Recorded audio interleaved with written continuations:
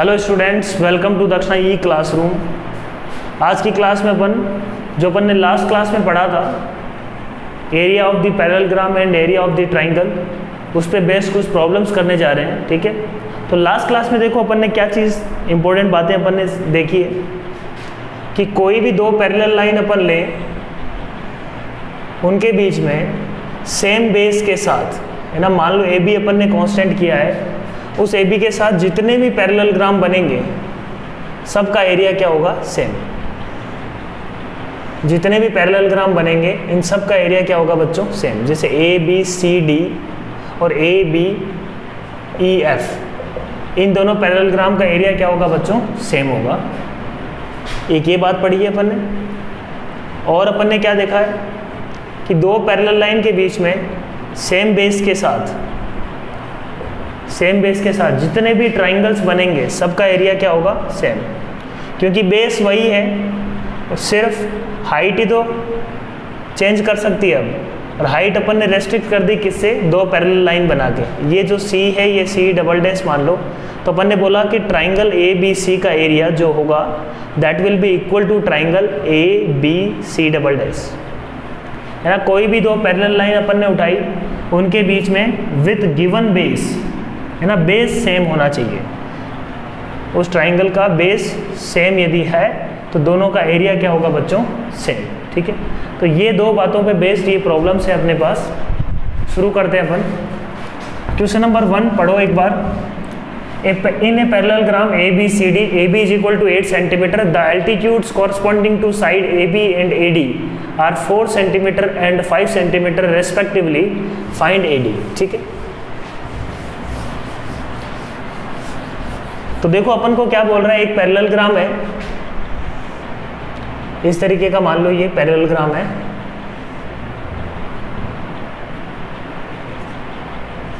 ठीक है। The altitude corresponding to side A B A B के कॉरस्पॉन्डिंग एल्टीट्यूड क्या होगा? ए बी पे एल्टीट्यूड होगा, ये वाला। इसकी लेंथ अपने को दी हुई है फोर सेंटीमीटर ठीक है? और ए डी पे जो एल्टीट्यूड बनने वाला है एडी लाइन पे एल्टीट्यूड कौन सा बनने वाला है देखो। इस लाइन को आगे बढ़ाने पे ये जो एल्टीट्यूड मिल रहा है, ये लाइन एडी पे एल्टीट्यूड है। ये फोर सेंटीमीटर है और ये अपने को कितना दिया हुआ है? फाइव सेंटीमीटर ठीक है? ए बी की लेंथ दी हुई है। ए बी लेंथ कितनी होगी? एट सेंटीमीटर गिवन है। है ना this length is given to us eight centimetre we have to find A D length अब देखो अपन एरिया ऑफ़ द पैरेललोग्राम जानते हैं। एरिया ऑफ़ द पैरेललोग्राम क्या है? बेस इनटू कॉरस्पॉन्डिंग एल्टीट्यूड तो अपन ने बोला कि area of triangle A B C D area of parallelogram A B C D parallelogram A B C D का जो एरिया है area of the parallelogram A B C D को अपन दो तरीके से लिख सकते हैं। कैसे? लेंथ ए बी इंटू उसका एल्टीट्यूड क्या है? Four centimetre should be equal to what length A D into उसका corresponding altitude which is five centimetre ये दोनों सेम होना चाहिए। ए बी की लेंथ भी दी हुई है अपने को। तो eight into four is equal to A D को मैं यदि एक्स मान लूँ तो एक्स इंटू फाइव हो जाएगा ये। एरिया तो सेम होगा ना पैरेललोग्राम का एरिया चाहे इधर से निकालो, चाहे ए डी के रिस्पेक्ट में निकालो एरिया तो सेम होना चाहिए। कोई भी एक अपने को सेफ़ दिया हुआ उसका एरिया हमेशा क्या होगा? इक्वली होगा कांस्टेंट होगा। चाहे तुम अलग अलग किसी भी मेथड से कैलकुलेट करो एरिया चेंज नहीं हो सकता, है ना? तो ये दोनों का एरिया क्या होगा बच्चों? सेम दोनों का एरिया यदि सेम हुआ तो यहाँ से एक्स की वैल्यू क्या आई?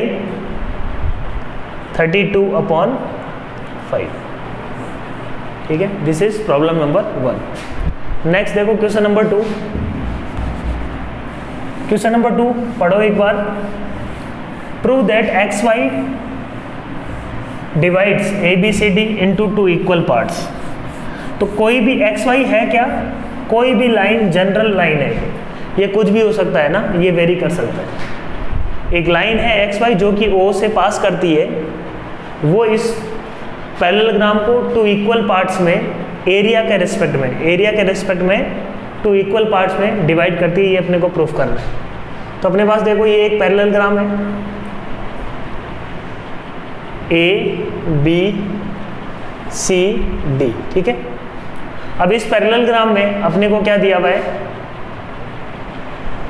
ये ए सी हो गया, ये बी डी हो गया, ये ओ पे इंटरसेक्ट करता है तो कोई भी लाइन अपन उठा लेते हैं। है ना, ये जनरल लाइन है। अब देखो इसको कैसे प्रूफ करेंगे। इसको प्रूफ करने के वैसे बहुत सारे तरीके हैं। अपने पास सबसे इजीएस्ट वे क्या है?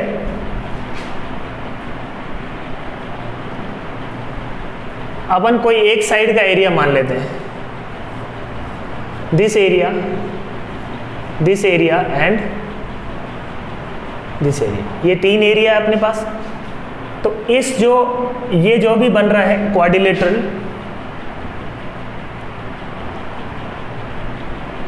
A X A X Y D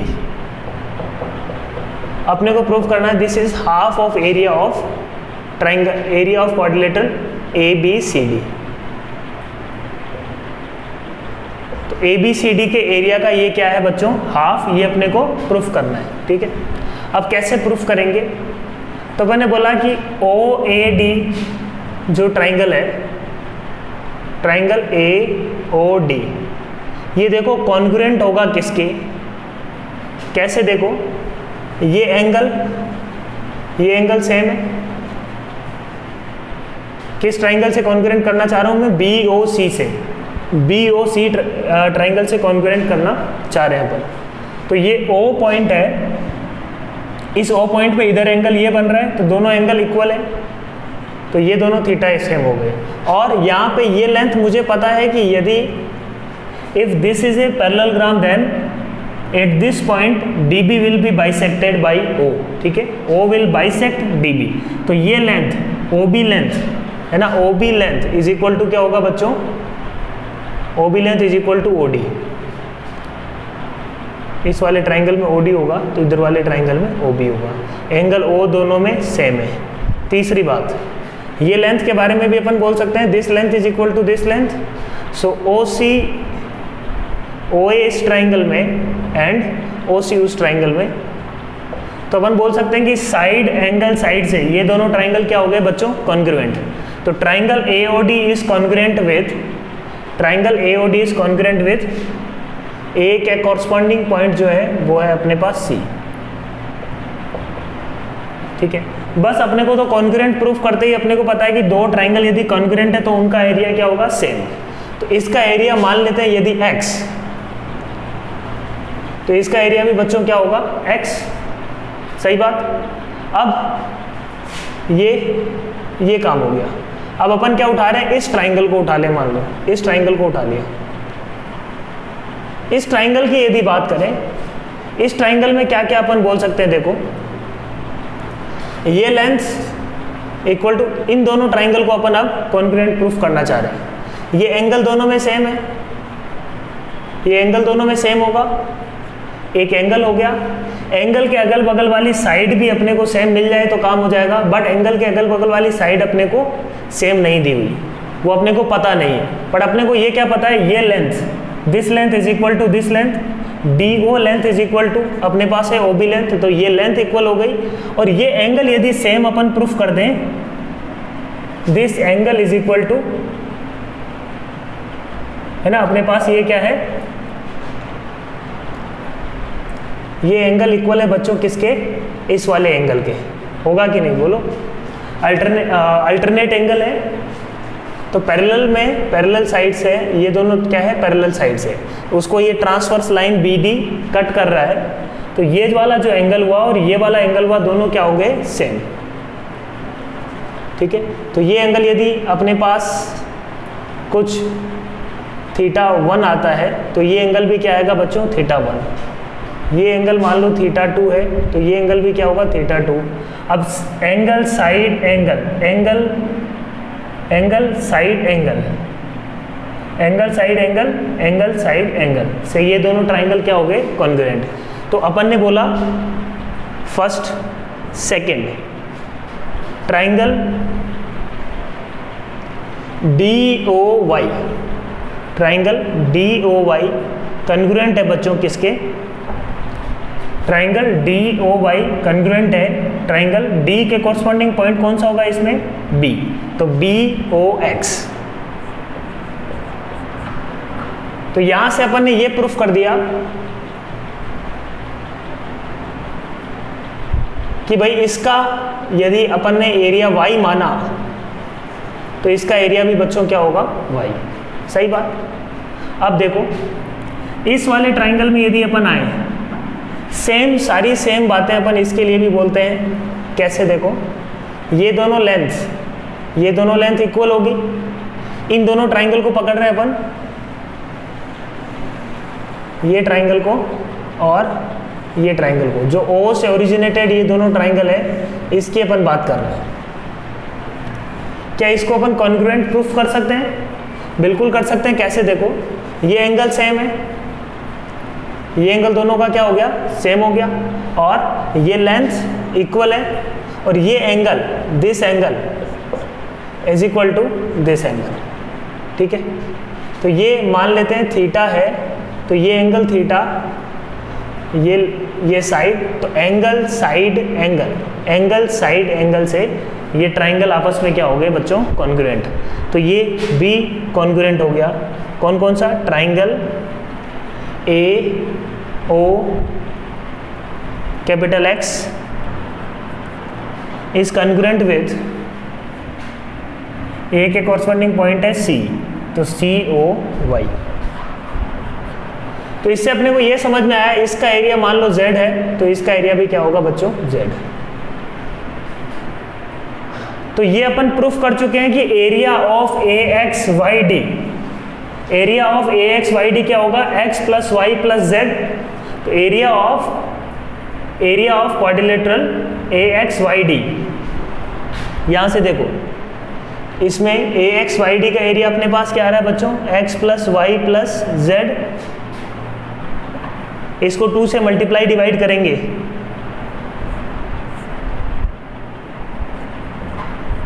वो बन जाएगा two X plus two Y plus two Z और two X plus two Y plus two Z इस पूरे का एरिया है क्या? X X Y Y Z Z तो इसको अपन क्या लिख सकते हैं?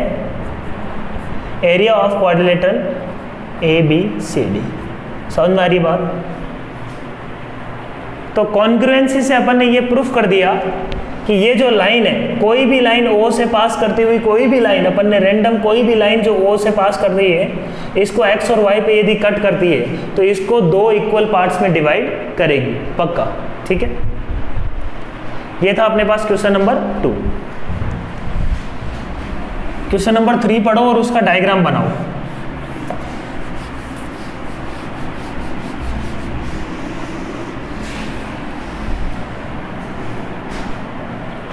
ABCD is a trapezium with AB is parallel to DC. A line parallel to AC intersects AB at X and BC at Y. ठीक है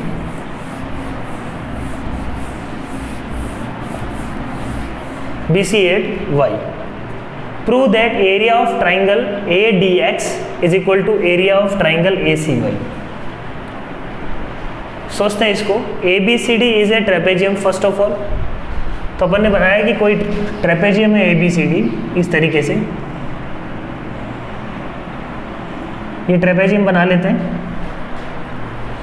A B C D is a trapezium A B is parallel to D C ये A B हो गया और ये A B is parallel to D C a line parallel to A C है ना? जब कुछ नहीं दिया हुआ हो तो आपको जो पॉइंट्स एज्यूम करने हैं या तो आप क्लॉकवाइज एज्यूम करो, या एंटी क्लॉकवाइज एज्यूम करो, सारे के सारे। ऐसा नहीं कि ए बी सी यहाँ लिख दो डी यहाँ लिख दो। ए बी सी डी जो भी चलेगा, अपने को हमेशा पॉइंट्स इस तरीके से एज्यूम करने होते हैं। या तो ऐसे एज्यूम करो, या ऐसे एज्यूम करो। पर कंटिन्यूस होने चाहिए, है ना? इस तरीके से नहीं कि बीच में से ही कहीं अपन भाग के सी यहाँ रख दें डी यहाँ रख दें तो चीज़ें जो इंटरप्रिटेशन है, वो गलत हो जाएगा। कंटिन्यूसन में होने चाहिए चीज़ें। तो ए बी सी डी ये अपने पास क्या आ गया? ट्रेपेजियम।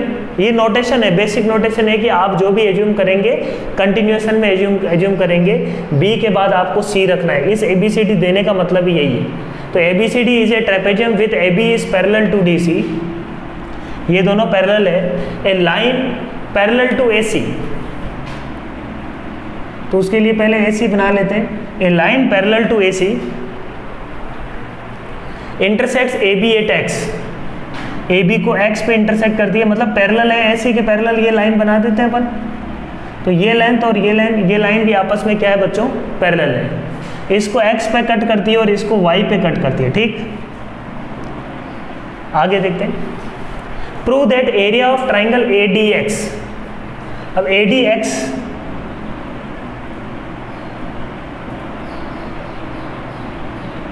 ये area A D X is equal to proof करना है किसके? ए C Y A C Y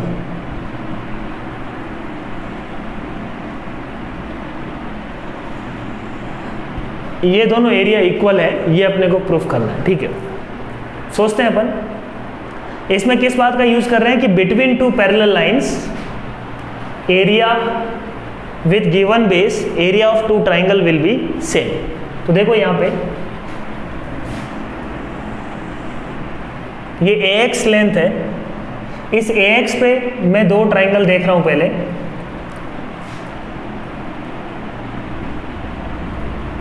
इसको मैं ऐसे ज्वाइन कर देता हूँ, ठीक है? बात समझना अच्छे से। Area of triangle triangle A X D is equal to होगा ए एक्स सी होगा क्या? बोलो। ए एक्स बेस के साथ सी और डी किस पे है? पैरेलल लाइन के दूसरी पैरेलल लाइन पे कोई पॉइंट है। तो ए एक्स बेस के साथ दो ट्राइंगल हो गए। तो area of A X C इसमें कोई दिक्कत नहीं है राइट किस प्रॉपर्टी से लिख लें? लिख रहे हैं अपन? Same base between two parallel lines triangle with same base between two parallel lines यहाँ से अपन ये बात लिख सकते हैं। फ़र्स्ट अब यहाँ से अपना प्रूफ नहीं हुआ। मुझे ए एक्स वाई के इक्वल प्रूफ करना है। अब देखो अपन क्या बोल रहे हैं। इसको अच्छे से समझना। ये दोनों लाइन भी पैरेलल दी हुई है। ये दोनों लाइन भी पैरेलल दी हुई है अपने को। ठीक है? A C X and A C Y ये दोनों ट्राइंगल को अपने को कनेक्ट करना है।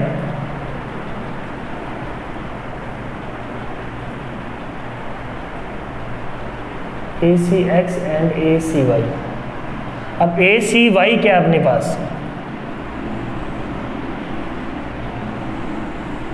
ये ए सी वाई है और ए सी एक्स क्या है अपने पास? तो मैं इन दोनों ट्राइंगल को देख रहा हूँ बच्चों ए सी बेस के साथ। एक पॉइंट अपने पास x और एक पॉइंट अपने पास y ए सी वाई और A C X A C Y A C Y और ए सी एक्स दोनों का एरिया क्या सेम होगा? क्या बोलो? क्यों होगा सेम कि ये ए सी बेस तो कॉमन है दोनों में? किस किसमें? Triangle A C X and triangle A C Y में। यदि अपन बात करें ए सी बेस तो कॉमन हो गया। बोलो। ए सी बेस कॉमन हो गया। और जो एक्स और वाई पॉइंट है, जो थर्ड वर्टेक्स है that lies on the parallel line ये पैरेलल लाइन दी हुई है ना? एक्स वाई क्या दिया हुआ है? X and Y are such that parallel to A C a line parallel to A C तो ए सी के पैरेलल है ये लाइन तो ये दोनों लाइन यदि पैरेलल है अपने पास तो अपन बोल सकते हैं कि ट्राइंगल ए सी एक्स और ट्राइंगल ए सी वाई का एरिया क्या होगा बच्चों? सेम है ना?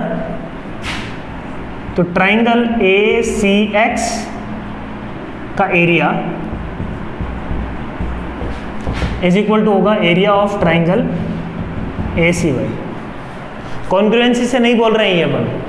कॉन्ग्रुएंट हो सकता है, हो हो सकता है, ना हो। बट अपन ये चीज़ जानते हैं कि दो पैरेलल लाइन के बीच में ये ट्राइंगल आ रहे हैं और ए सी इसमें कॉमन बेस है तो हाफ़ बेस इनटू हाइट जब कर रहे होंगे तो ये जो हाइट यहाँ से मिलेगी और ये जो हाइट यहाँ से मिलेगी, दो पैरेलल लाइन के बीच में डिस्टेंस तो हमेशा क्या होती है बच्चों? सेम तो ये ऐसा क्यों हो रहा है? ट्राइंगल विथ सेम बेस और बेस यहाँ पे क्या है? बेस है यहाँ पे ए सी सेम प्रॉपर्टी से ये बात अपन बोल सकते हैं। अपना प्रूफ हो गया, क्या बोलो? ये इसके इक्वल है, ये इसके इक्वल है hence A equal to B B equal to C this implies A equal to C लिख सकते हैं? Hence we can write triangle A X D का एरिया इज़ इक्वल टू क्या होगा? Is equal to area of triangle A C X is equal to होगा area of triangle A C Y ये अपन proof कर चुके तो this is equal to this proof हो गया ए एक्स डी का एरिया इज़ इक्वल टू हो गया A X A C Y का एरिया ए सी वाई का एरिया समझ में आ रहा है ना? अच्छा क्वेश्चन है। थोड़ा सा अपने को इसमें दिमाग लगाना था, ठीक है?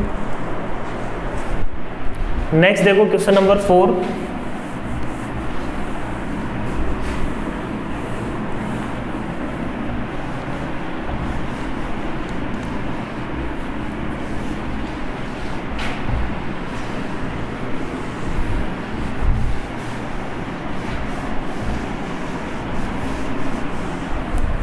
क्वेश्चन पढ़ो पहले. A B C D is a quadrilateral a line through D A C meets B C produce in P H shown in figure तो ये बोल रहा है कि एक अपने पास क्वाड्रिलेटरल है। इस तरीके का कुछ।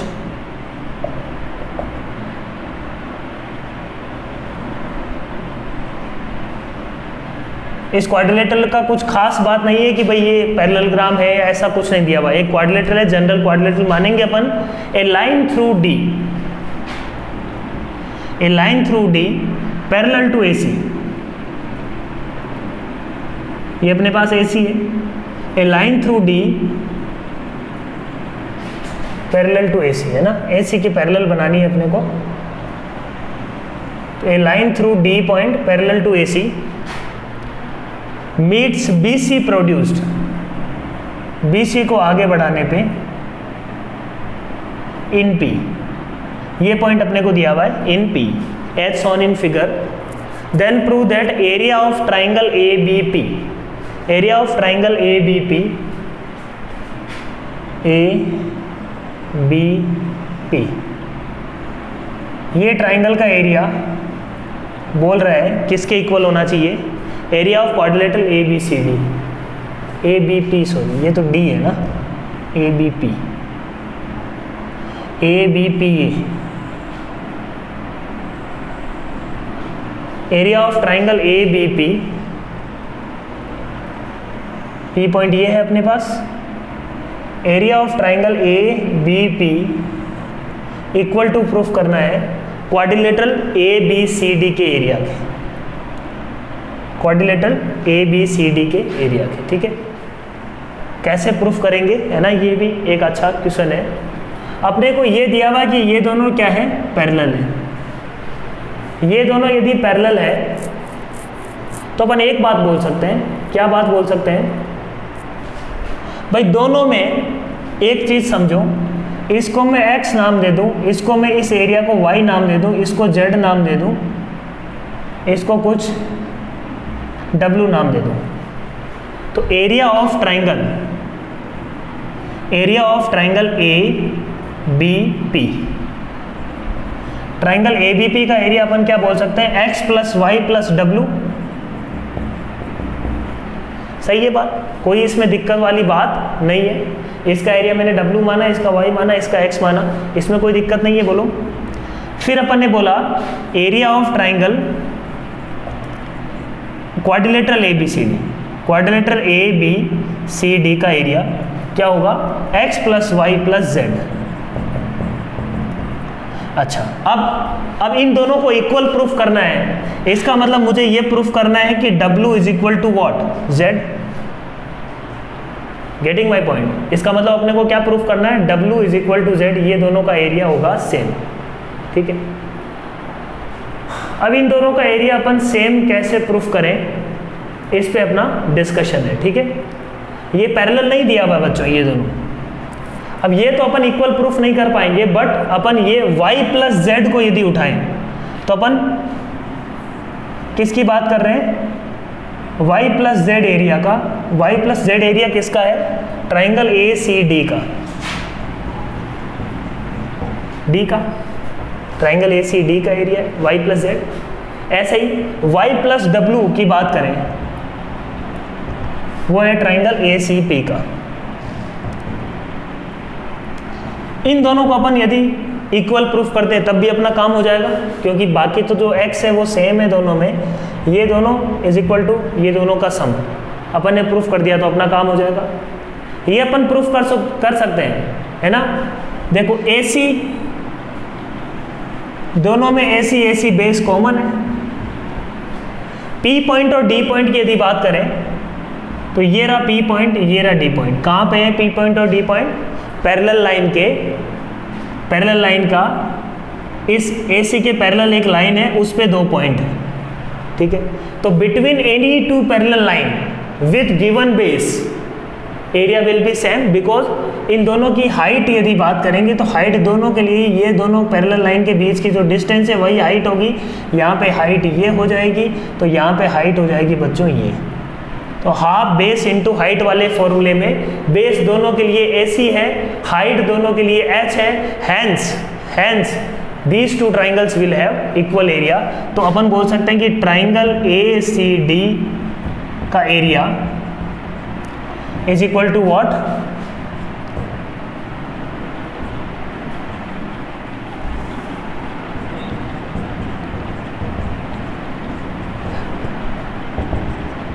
area of triangle ACP using what? Using triangle with same base same base and and between two parallel lines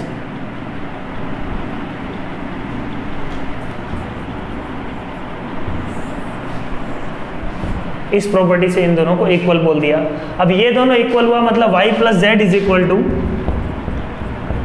Y plus W hence Z is equal to W Z equal to W proof करते ही अपना ये काम हो गया बोलो। Hence अपन बोल सकते हैं area of triangle A B C is equal to A B C नहीं, ये पी है। Triangle A B P A B C नहीं है बच्चों, ये क्या है? ट्राइंगल ए बी पी का एरिया इज़ इक्वल टू है triangle A B C D ना A B P is equal to triangle A B C D proof हो गया?